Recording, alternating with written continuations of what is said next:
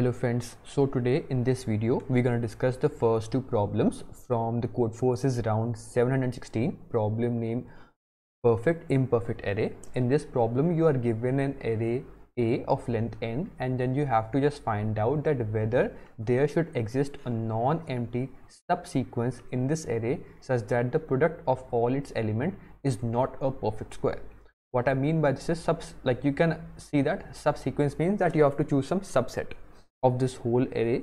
And then after choosing that subset the product of the elements in that subset is not a perfect square whether it is possible or not.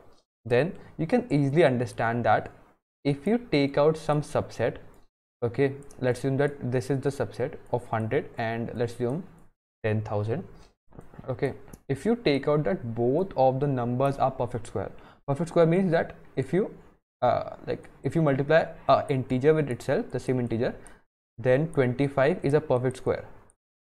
Okay which means that it can be broken down into two same numbers.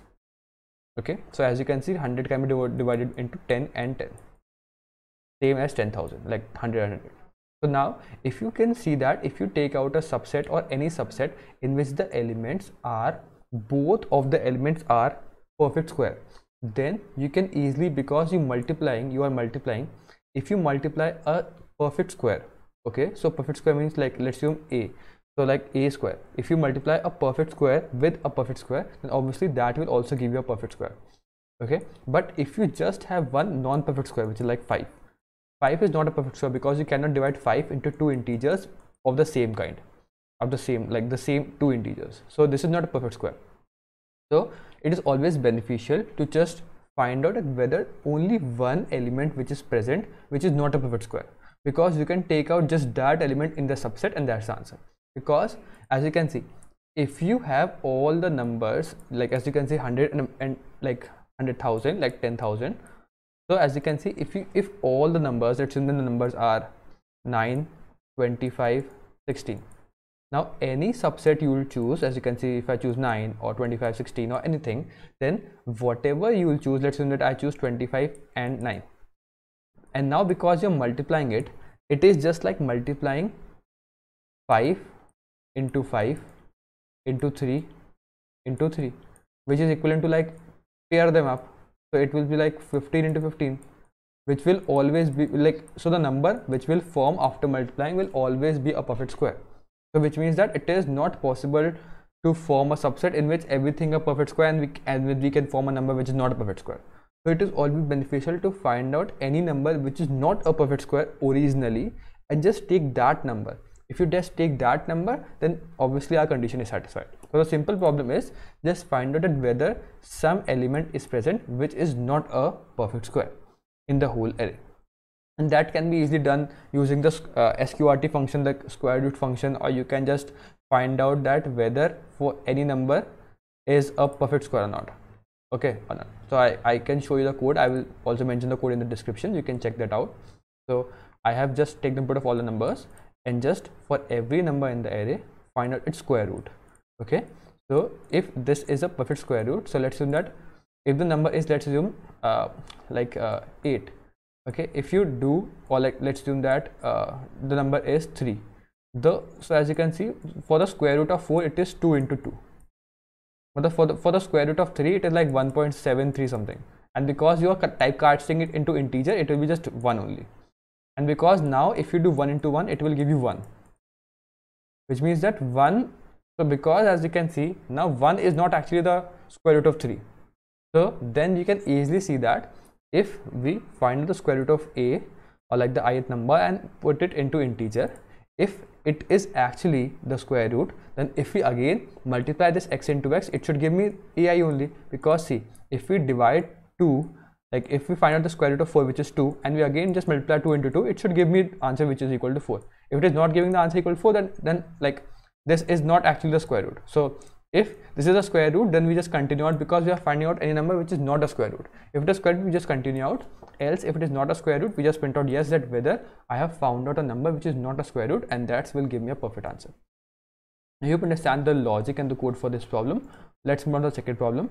It states that like you have n integers and what you actually have to find out is you have to find out the number of arrays of length n okay of length n. So you have to find out an array of length n which means that the array has n elements. So you have to find out an array of n elements and what the array should consist of. You have to find out how many arrays are possible like how many arrays of length n are possible such that all its elements are in the integer between 2 like 0 2 to the power k minus 1 which means that that number or every number in that array should be having k bits.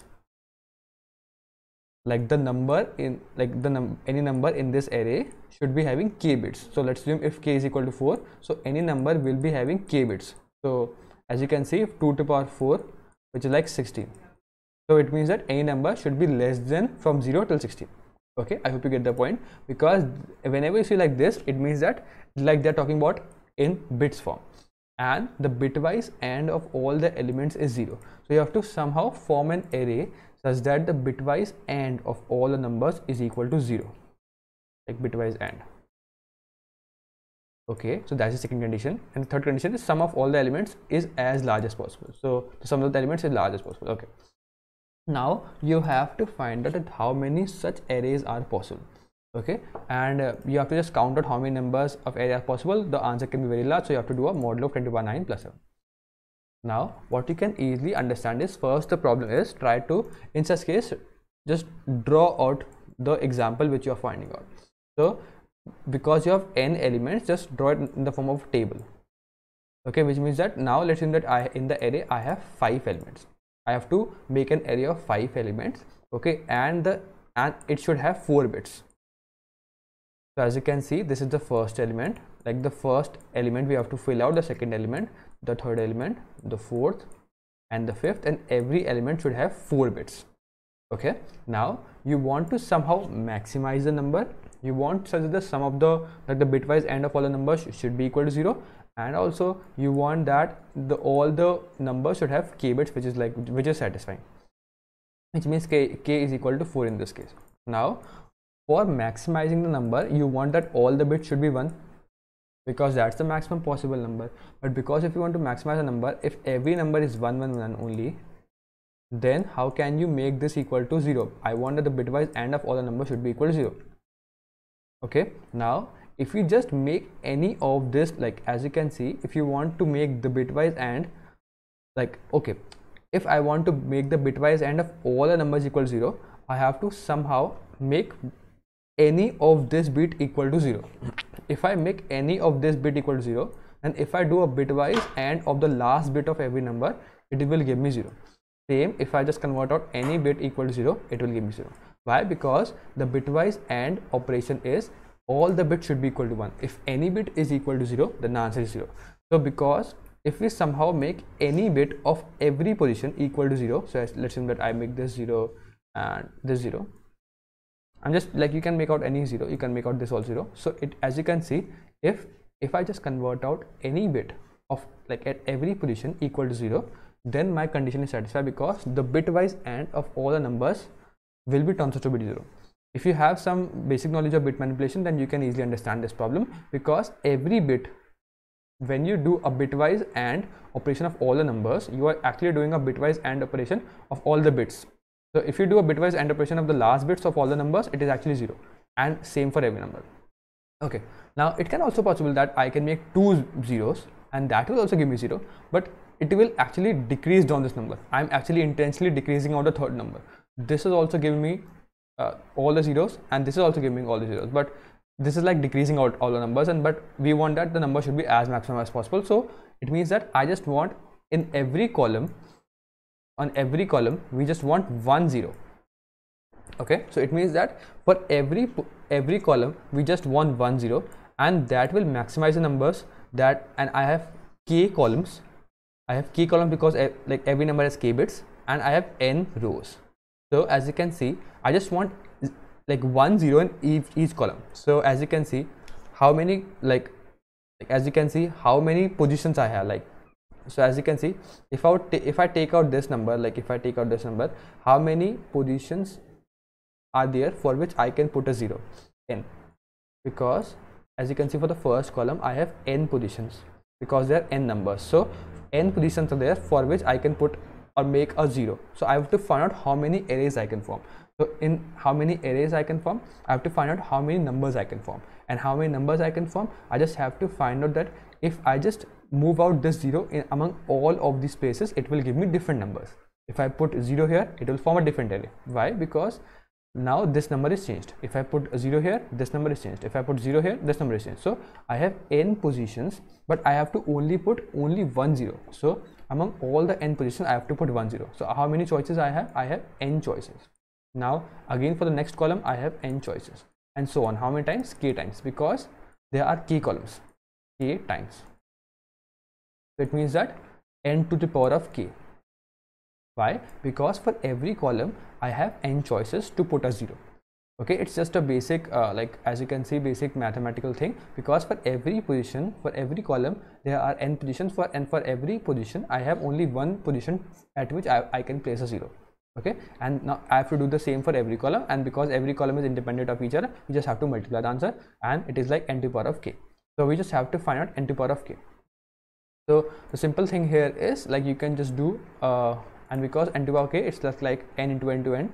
So we just have to do a mod of this at every point. So it's just like mod modular arithmetic also. So what you can do if you have watched my previous uh, like explanation of modular arithmetic i just use a common and simple functions like this it is very simple to use. I can link down the video description how to use modular arithmetic. And i've made a very simple uh, video how to use that so you can easily understand that. So i just use two function mod function and the multiply function. This multiply function use actually the mod function so that i can just do my multiplication very easily. So what i actually have to do here is i just have to multiply n k times. So just take the product of n and k. This is the answer and we just have to multiply answer just store out my total answer. But because we have to do the modular arithmetic also we have to somehow multiply n k times. But i have to also ensure that i have to do a mod at every point. So that's what i'm doing. I'm whenever i'm multiplying as you can see whenever i'm multiplying i'm multiplying using this multiply function which is actually doing a modular arithmetic. So as you can see whenever i'm multiplying my answer with n this is actually finding our answer. I hope you understand the logic and the code part for this both of the problems. If you still have an doubt, you can mention now in comment box. I'll you next one till then keep coding and bye.